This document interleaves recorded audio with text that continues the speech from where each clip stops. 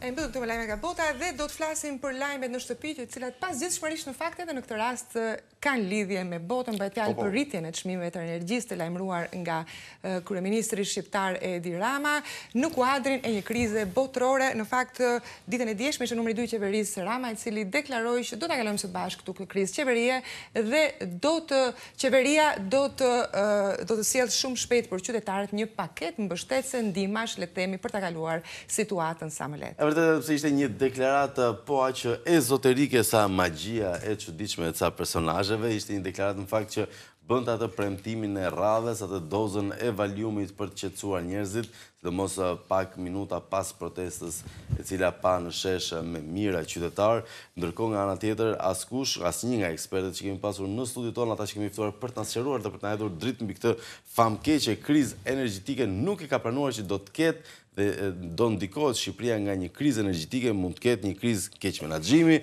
mund të ketë vjedhje sasiore, por kurrsesi një krizë energjetike për Shqipërinë. Është e vërtetë, Flavio, e ndërkohë ajo që ne dhe publiku do donim të dinim në këtë rast është nëse deklarata e djeshme e numrit dy të qeverisë është ishte një deklaratë të themi sa për të kaluar radhën, sa për të shmangur një situatë përplasjeje me publikun që do dilte në protestë, apo kemi diçka konkrete në ditët në vijim? Le ta pyesim menjëherë një nga ekspertët, është njohës i çështjes së financave publike, zoti Enriko Ceko. Mirëmëngjes, mirëmëngjes profesor. Përshëndetje zoti Ceko. Mirëmëngjes, si jeni? Mirë, juve si keni qenë? Kështu si pa na ardhur faturat e dritave akoma. Po. Tani besoj e dëgjuam deklaratën e numrit 2 të qeverisë. Një shpjegim më tepër, a ka mundësi ta bëjë këtë paketë, a s'ka mundësi, a do ta bëjë, a ishte thjesht një, le të themi, deklaratë falso? Një çaj kamomil për publikun. Tani u bënë 8 vjet që janë lançuar paketa nga më të ndryshmet, paketa për shtresat e paprivilegjuara, për të papunët, për ata që kanë humbur punën gjatë reformave. Ka, ka patu disa ministra që sa herë që fitojnë direkt mbas zgjedhjeve thonë do ketë reforma, reformat janë të dhimbshme. në asnjë vend nuk ka patur reforma të dhimbshme, vetëm Shqipëri. Mhm. Reformat kur një qeveri inicion reforma i merr parasysh të gjitha dhe do të mbulojë edhe kostot e atyre që u humbin nga reforma në mënyrë që të jenë të barabartë pastaj me tjerët që kanë fituar nga reforma ose të gjejnë mënyra të tjera kompensimi. Në rastin konkret, Shqipëria në periudhën e vjeshtës ka shira. Kam, kam përshtypin që kjo ka qenë një frikë e madhe e kryeministrit, pasi në periudhën e mesit korrikut edhe gjatë gushtit, ja është shitur energji elektrike. A është pikërisht ky thelbi i gjithë problemit që kemi që kanë shitur energji elektrike jashtë kushteve të sigurimit kombëtar? Shikoni. Dhe me çmime qesharake për interesat e shqiptarëve? Unë nuk mendoj kështu. Ëh. Mhm. Energjia elektrike shitet ditën dhe natën. Ditën ka çmim tjetër, natën ka çmim tjetër. Po sikur ta kesh shitur çmimin ditën me çmim të lartë, edhe këtu në buxhetin e shtetit e kanë deklaruar që e kanë shitur natën me çmim të ulët dhe diferencën e futin në xhep. Sigurisht. Shiko, kush e kush e ka investiguar këtë mundësi? E kuptoj. Kush e ka parë? Në kuadrin e hamenësimeve, se ne vetëm po hamenësojmë këtu në mungesë të transparencës, si do ta komentoni deklaratën e djeshme? Kthehem edhe një herë pyetjes së numrit 2 të qeverisë që ne kemi ngritur, qeveria ka ngritur një ekip që po e sheh, e ka në vëmendje situatën minutë pas minute dhe do t'ju ndihmojmë ta kalojmë bashkë. Është thjesht edhe një herë po. për të kaluar radhën apo? Ahmete po, që ka vështirësi me pagujt faturat është emocionuese. Në aspektin në aspektin e energjisë elektrike, gjithë qeveritë e kanë një grup special. Gjithë qeveritë kanë një grup të veçantë, i cili merret me studimin e situatës, me mhm. menaxhimin e burimeve, me me çmimet në tregjet ndërkombëtare. Pse vetëm vetëm Shqipëria e ngriti këtë grupin special? Shikoni, në një situatë në një situatë dhe çfarë mund të bëjë qeveria për të mbështetur të paktën shtresa të caktuar në publik? Po, një sekond, këto gjëra. Përveç se të mos vjedhë, ë? Këto gjëra as nuk duhet të deklarohen se janë çështje të sigurisë kombëtare, si mund të thush ti ngrita grup special unë? E qartë. Po sikur të vijë tjetri ta korruptojë atë grupin special, se shqiptarët gjithë ata që punojnë në administratën publike janë janë njerëzit më të korrupt, lehtësisht korruptueshëm në Shqipëri. Korruptohen me me me një copë pilaf.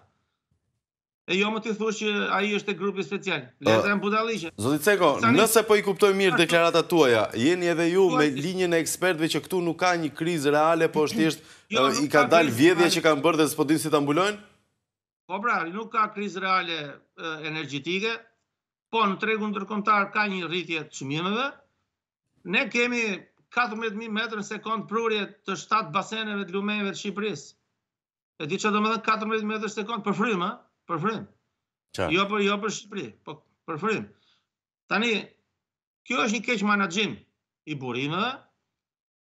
Shqipëria ka patur shansin që nga vitet 2000 që të ndërtonte termocentrale që janë eco-friendly, që që mbrojnë mjedisin, janë termocentrale që punojnë me linjite të pasuruara me naftë bruto, që ne të dy i kemi, edhe linjitin, edhe naftën bruto, janë termocentrale të cilat kur djegin linjitin edhe naftën bruto, e nxjerrin më vete squfurin edhe plumbin e naftës dhe squfurin tregu ndërkombëtar ka një çmim shumë të lartë sot, se përdoret për industrinë kimike.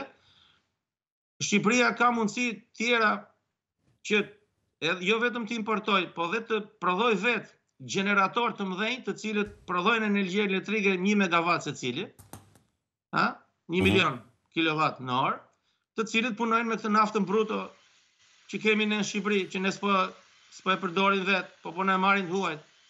Ne nxjerrim naftë, nuk e rafinojmë këtu në Shqipëri, po as e përdorim as si naftë bruto, e çojmë jashtë shtetit, rafinohet andej dhe na vjen këtu në Shqipëri si naftë e importuar, dhe nafta jonë.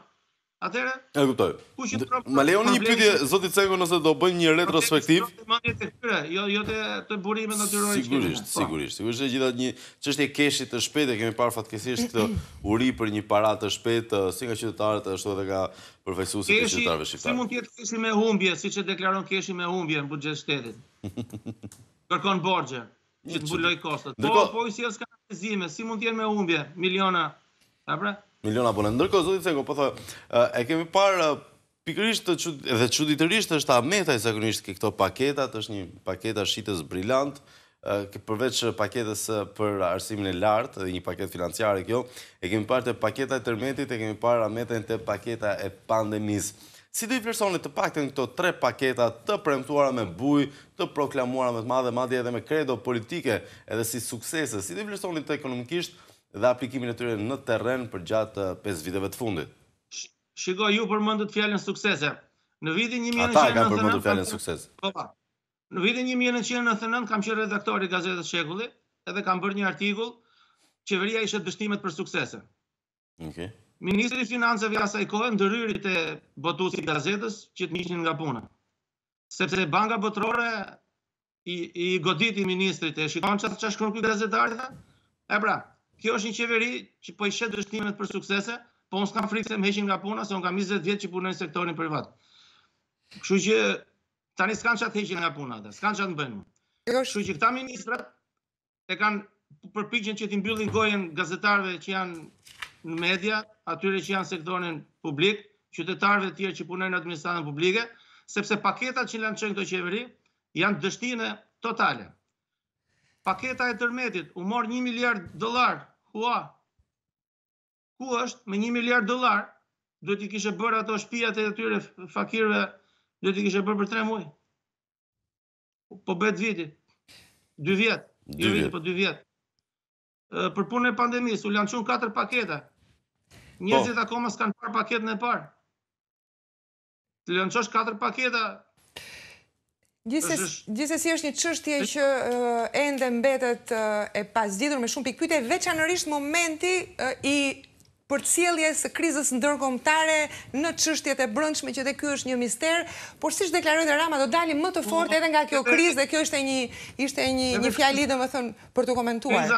Dalja më e fortë. Po ça krize ndërkombëtare flisni ju? Mbrëm çmimi i naftës vajti prap 74 dollarë. Po edhe i gazit u ul pasi deklaroi Rusia që do të do vazhdojnë furnizimin me gaz përmes Ukrainës, kështu që gjithmonë shtator tetor. Pse çuditen këta? Po derisa të kalojë edhe Nord Stream-i. Po pra, por Rusia gjithmonë këtë punë ka bën shtator tetor. Ça krize është kjo? Dihet, kontinenti, hemisferi i veriut ka kërkesë të lartë për për energji gjatë periudhës dimrit, sepse gjithë industria e botës kryesisht është e përqendruar në hemisferin e veriut. Shtetet e Bashkuara të Amerikës, Kanadaja, Evropa, Japonia, që janë vende që duan energji. Atëherë vende që prodhojnë energji luajnë me kërkesën dhe ofertën. Çmimi i karburanteve ishte 72 dollar për për fuçi. Gjatë periudhës dimrit, sipas gjithë studimeve dhe çfarë ka ndodhur në vitet e mëparshme, do shkojë 100 dollar dhe pastaj në gushtin tjetër do shkojë 62 dollar prap.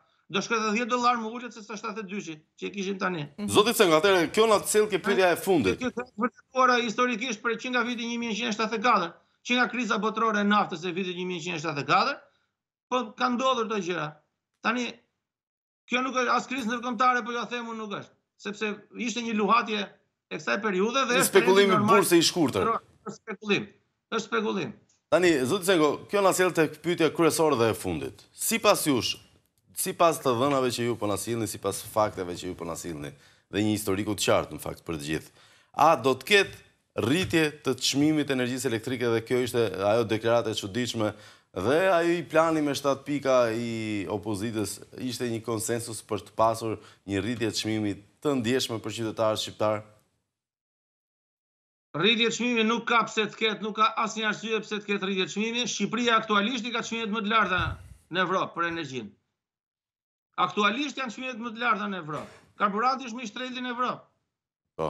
Hiqe akcizën. Akciza është 90% e çmimit fillestar që futet karburanti në territorin e Shqipërisë. Karburanti futet me 55 lek, me 60 lek, edhe 90% është akciza. Direkt vajti karburanti 100 lek, flas me të reja. Po. Pastaj shto dhe TVSH-në, 20%, u bënë 120. Shto tatimin mbi fitimin, shto tatimin e korporatës, shto të taksat e qëtimsme Po, ashtu këto taksa, shiko, ne i themi taksë qarkullimi, po brenda taksës së qarkullimit janë disa taksa të tjera të vogla që duhet t'ia shpjegojmë njerëzve, edhe shkon çmimi pastaj 160 lek. Po ai që e shet naftën aty te pika e karburantit s'do fitojë? S'ka kosto? Për çfarë del? Po po pra. 160 lek është çmimi që e merr pika e karburantit për të na shitur ne. E kuptoj. 160 165. se ka disa duar në zinxhirin e furnizimit. Duhet të heqë aksizën. Nga 160 lekë ta bësh naftën 100 lekë përnjëherësh, vetëm pa u futur në territorin e Shqipërisë, pa u futur në doganë. Hiq aksizën, le ça thotë ai Lulzim Basha të heqin 24 lekëshin. Ajo është, ajo është përrallë. Përrallë me mbret. Duhet të hiqet 45 lekëshi. Dhe brenda këtij 45 lekëshi është ai 24 lekëshi. Edhe në çmimin e energjisë elektrike. Bizneset e marrin në tregun e lirë. Ça, ça pune ka qeveria që ndërhyn në tregun e lirë? Në vend që të zgjerojë tregun, në vend që të krijojë mundësi që të ketë konkurrencë të pastër, e ka bërë monopol me, me KESH-in edhe O, OSHEE. Atëherë, është është çështje e mentalitetit të qeverisë, nuk është çështje e qytetarëve. Mirë, zoti Ceko, ne ju falenderojmë për sqarimin tuaj këtë mëngjes dhe ju urojmë ditë të mbarë.